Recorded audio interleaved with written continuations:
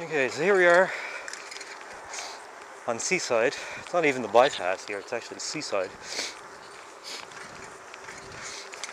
If I continued straight there, it would have brought me up to 4th.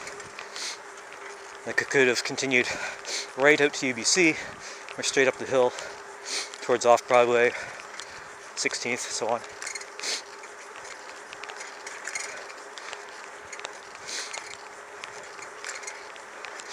Now this is awesome.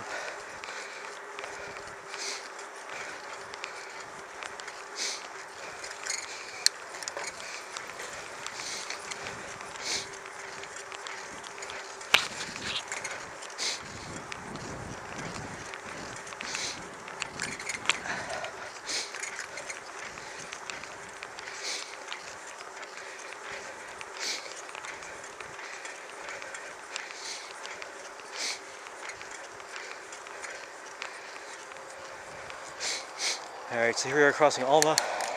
There's no signal here.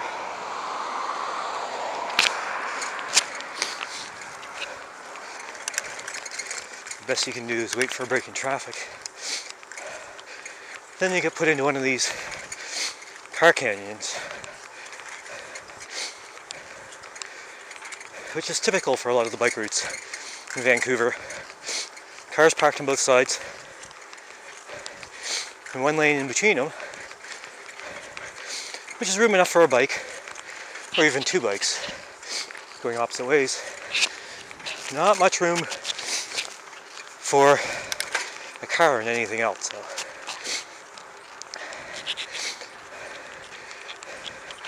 A lot of people are uncomfortable with riding along through here, or at least these car canyons, because you never know when a door is going to open you never know when somebody's going to pull out without looking.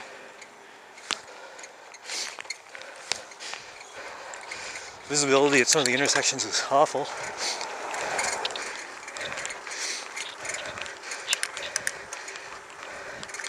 On the right side, there's less traffic than the arterials.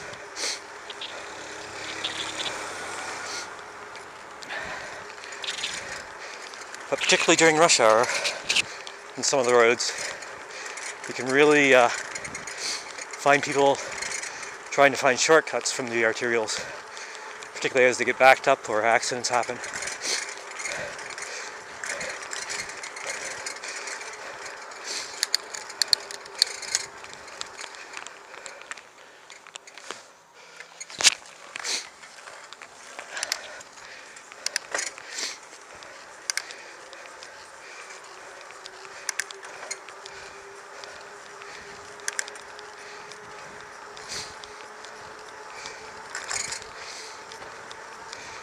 These two-way stops here dangerous because often find motorists don't stop there when they do have the stop or they do stop and then go because they expect that the cross traffic has a stop sign as well. Alright, here we have Balaclava, north-south route through Kits. We're going to continue along off Broadway here, or this is the seaside. We're going to continue along the seaside. Balaclava is pretty good in that it goes up a bit of a valley. So it gets you south through Kits without too much hill climbing.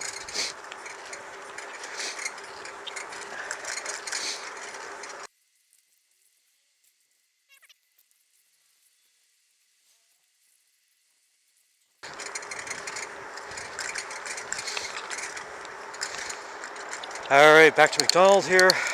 Again, there's no easy way to get across without waiting for breaking traffic. It's a Sunday today, so traffic's pretty light.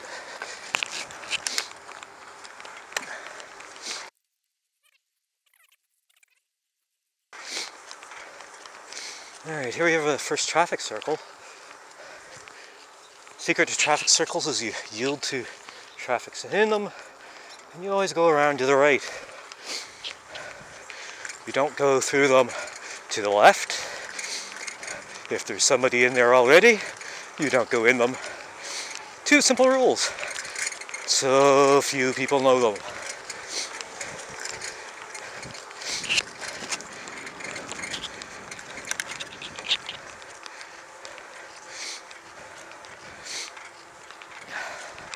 Traffic circles bother me too because usually a lot of cars just treat them as chicanes. Don't slow down much at all for them. And of course, if they're not slowing down, you can't see. All right. So this is Seaside. Remember how nice and direct and straight it was to go along Point Grey Road there in Cornwall? This is Seaside, the equivalent bike route. And it just weaves in and out through all these streets here.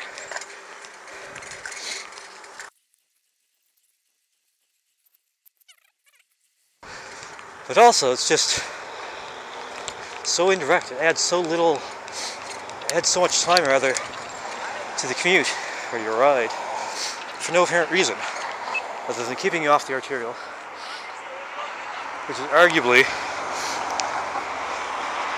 more dangerous than keeping you off the arterial,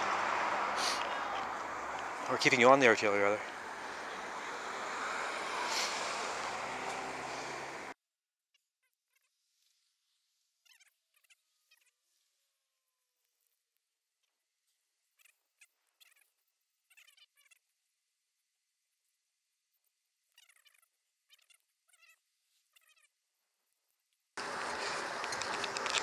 Alright.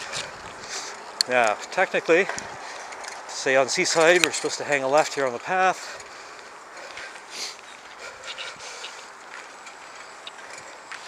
Isn't that fun? Most people take the diagonal coming across the grass there, myself included.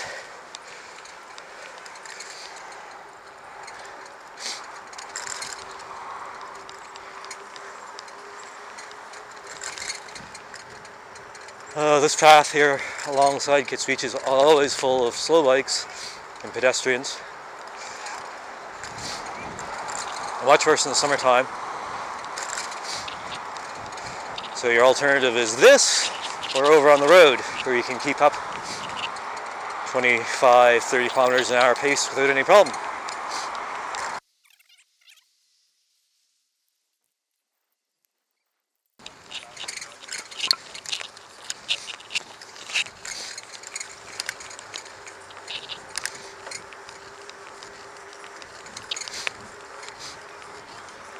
Um, yeah, we're cutting through a parking lot here. This is uh, still, hello, come on!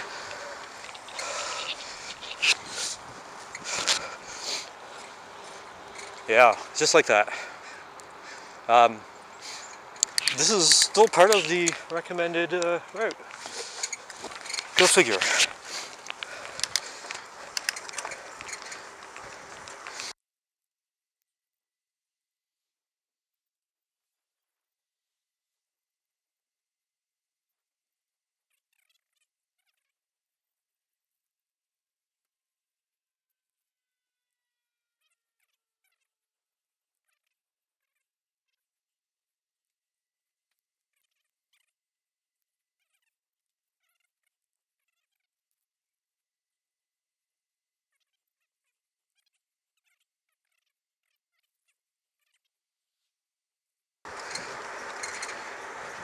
Okay, so we've gone twice the distance necessary, I think, to get on the Burrard Bridge.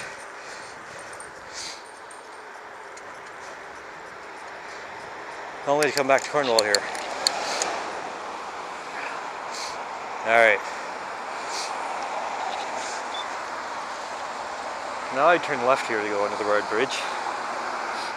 But again, the city recommended way seems to be to go up to First Avenue It's not clear to me exactly why.